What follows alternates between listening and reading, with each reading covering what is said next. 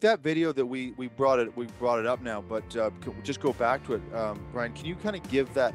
What what are we actually seeing in that in that? Uh, I mean, it's about a four minute videos, but just as a sort of a general overview, what's the audience uh, looking at in that project?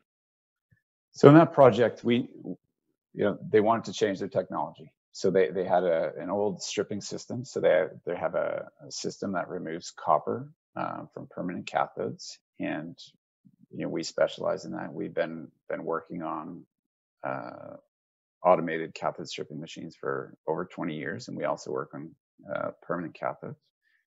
Um, and we're the global leader in that.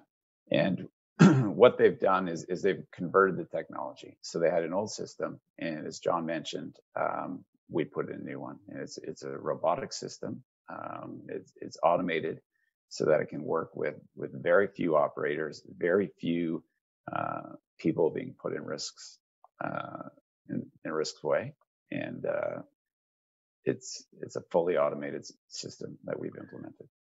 Jared, we, we were we were selected on that project I mean, first of all, what you'll see if you watch the video, you're seeing a transfer of product from the client's uh, tank house into our machine.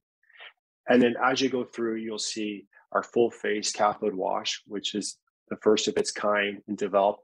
And why was that developed? That's developed based on our experience as a maintenance. As because we are involved in maintaining not only our equipment that we design, but other clients' equipment, other suppliers' equipment as well, we understand what works and what doesn't work. And one of the issues is, is you can get uh, pre-strip copper, you can get pre-stripping, uh, which causes downtime in the machine or damage. So we designed a system that actually washes the quality, washes the quality of the product, the client's product, which is in this case copper cathodes.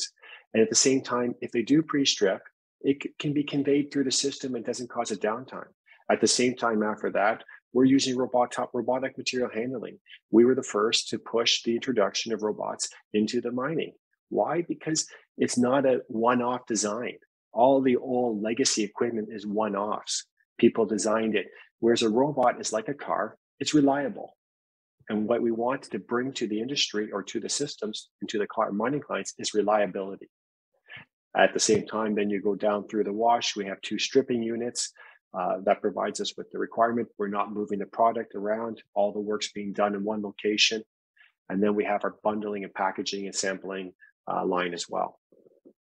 And, and, one of the reasons we won that project is because we were we were able to have the flexible design uh, with the the automation, so we could fit into an existing footprint. Right, without all the uh, without actually added infrastructure other than the operation itself that you're implementing.